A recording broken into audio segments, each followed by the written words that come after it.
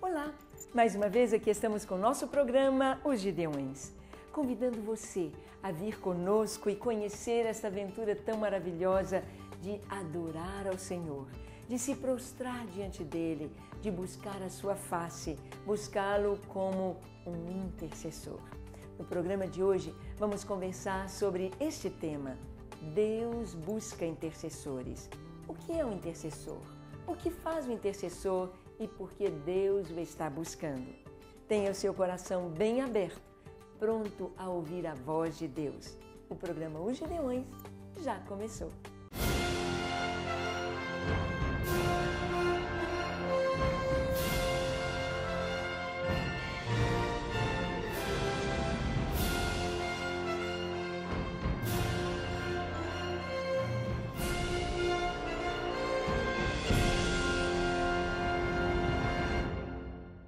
Muito bem, vamos então ao nosso estudo de hoje.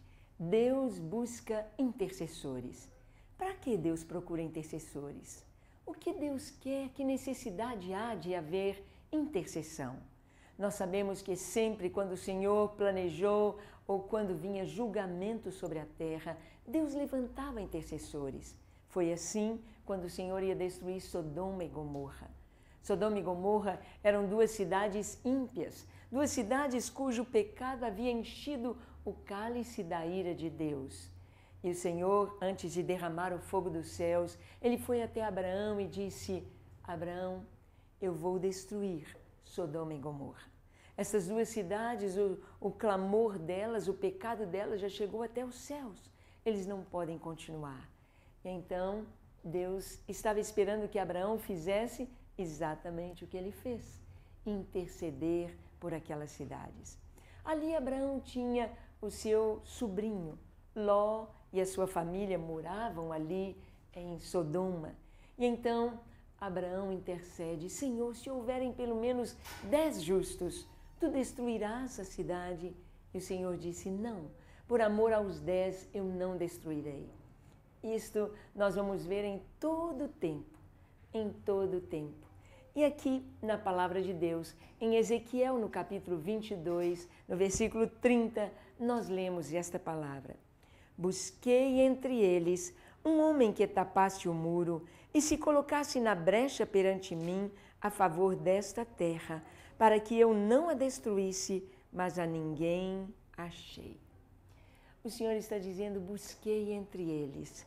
Quando lemos o contexto deste capítulo, nós vemos que o Senhor está falando sobre os sacerdotes, sobre os profetas, sobre os príncipes, sobre os anciãos da cidade de Jerusalém, do povo de Israel. E o Senhor diz: Busquei entre eles um homem, um homem que tapasse a brecha, que se colocasse no muro, colocasse na brecha. Que brecha é esta? A brecha era exatamente aquele filete, aquela fresta na torre, na muralha, de onde o sentinela, o atalaia, estava vigiando a vinda do inimigo. Estava vigiando. E o Senhor disse: Eu não achei ninguém que se colocasse na brecha. Não achei ninguém que estivesse vigiando, ninguém que se importasse, ninguém que me buscasse. Não achei ninguém. E por isso, o Senhor disse: Como eu não achei, o verso 31 diz: Por isso eu derramei sobre eles a minha indignação, com o fogo do meu furor os consumi, fiz cair-lhes sobre a cabeça o castigo do seu procedimento, diz o Senhor. Na minha indignação, o Senhor os feriu. Não houve jeito para o povo, o castigo veio exatamente porque não havia ninguém ninguém que intercedesse. Hoje, Deus está chamando a mim, chamando a você para interceder. Interceder pela igreja, interceder pelos jovens, interceder pelas crianças, interceder pelas nações, interceder pelo seu povo, interceder pela família, interceder, se colocar entre Deus a favor de alguém, a favor daqueles que hão de receber o juízo, o castigo de Deus. Busquei entre eles um homem que tapasse o muro e a ninguém achei. Há nove anos, Deus tem chamado este grande exército, o exército 24 horas diante do Senhor, o exército de Gideões intercessores. É claro que os intercessores não são apenas os Gideões. Há milhares de intercessores, aqueles sete mil que não dobraram seus joelhos a Baal, conforme o Senhor disse ao profeta Elias. Eles estão aí, em toda a terra, em todo o mundo, em toda a igreja, em todas as congregações, em todas as denominações, os sete mil que não dobraram seus joelhos a Baal. Aí estão.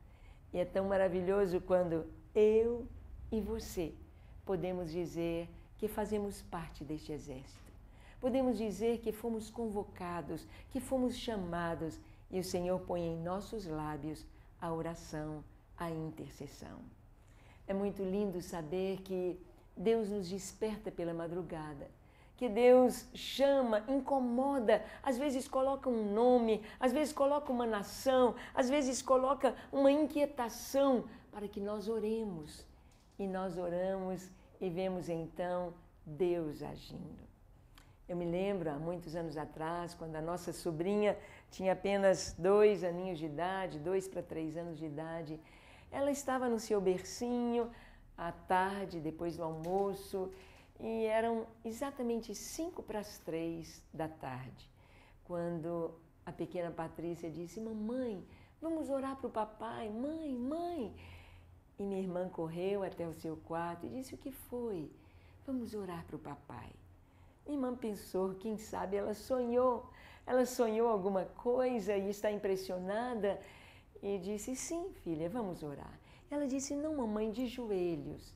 Então, minha irmã desceu do bercinho da sua caminha, se ajoelharam e oraram. E ela disse: Papai do céu, guarda o papai. E a minha irmã orou pedindo a proteção de Deus por seu esposo. Então a menininha ficou calma, tranquila e voltou a dormir. Então, quando meu cunhado chegou do trabalho, ele chegou a minha irmã e disse: Olha, era para hoje você ir ao meu velório. Era para estar morto agora. Ela perguntou: Mas por que? O que aconteceu? Ele então lhe disse: Olha, hoje, exatamente às cinco para as três da tarde, aconteceu algo tremendo. Eu estava lá no galpão, ele trabalhava na Uzi Minas, ali em Patinga, e ele disse que uma grande tenaz sustentava uma, uma bobina muito grande, peso de toneladas. E ele estava embaixo orientando aquela pessoa que guiava tenaz para a esquerda, para a direita. E de repente ele disse que sentiu uma mão no peito empurrando para trás. Ele deu um passo para trás e aquela tenaz havia desprendido, soltado da bobina, aquela bobina e aquele peso todo caiu a 10 centímetros da sua frente. Ele sentiu apenas aquela mão empurrando para trás. E ele olhou no relógio, eram cinco para as três.